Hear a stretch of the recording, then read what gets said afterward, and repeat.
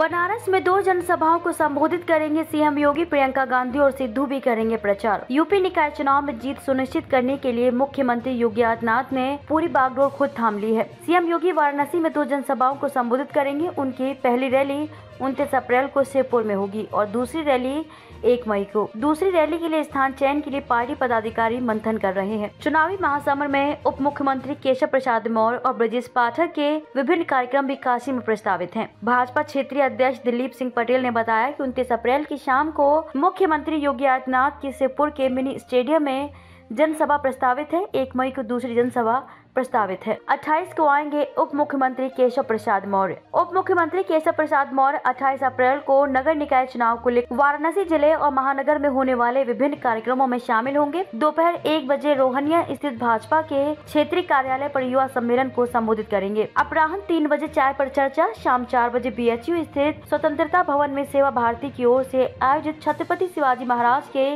जीवन पर आधारित नाटक जानता राजा के पोस्टर लोकार्पण कार्यक्रम में हिस्सा लेंगे। शाम को गंगापुर बाज़ार और कोनिया में जनसभा को भी संबोधित करेंगे। उप मुख्यमंत्री ब्रजेश पाठक महिला सम्मेलन को करेंगे संबोधित। उप मुख्यमंत्री ब्रजेश पाठक 28 अप्रैल को मंडुआ डी स्थित विश्वनाथ गार्डन में आयोजित महिला मोर्चा सम्मेलन को संबोधित करेंगे। इसके बाद रोडवेज़ बस स्टैंड के निकट स्थित हॉस्पिटल में डॉक्टरों से मुलाकात कर विकास कार्यों पर चर्चा करेंगे। कांग्रेस ने भेजी स्टार प्रचारकों की सूची। नगर निगम के चुनाव में कांग्रेस बेहतर प्रदर्शन के लिए कोई कसर नहीं छोड़ना चाहती है। प्रचार प्रसार के लिए जल्द ही मैदान में स्टार प्रचारकों की पूरी टीम उतरेगी।